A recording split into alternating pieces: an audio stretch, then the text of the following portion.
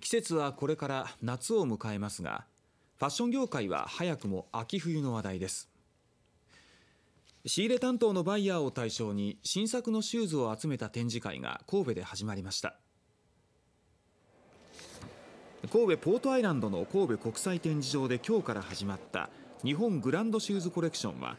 毎年3回季節を先取りして開かれています。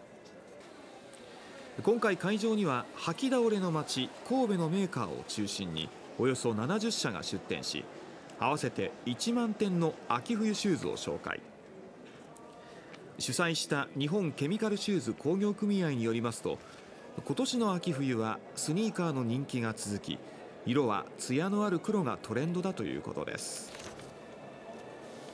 皆さん、えー、個性が個性化といいますかパーソナル化してますんでね。そういう中で、えー、今この靴業界が進んでます。今回は神戸シューズのこのプレミアムラインっていう、えー、新しいブランドも発表しておりますので、えー、ぜひ履いていただきたいと思います。この展示会はバイヤーを対象に明日まで開かれ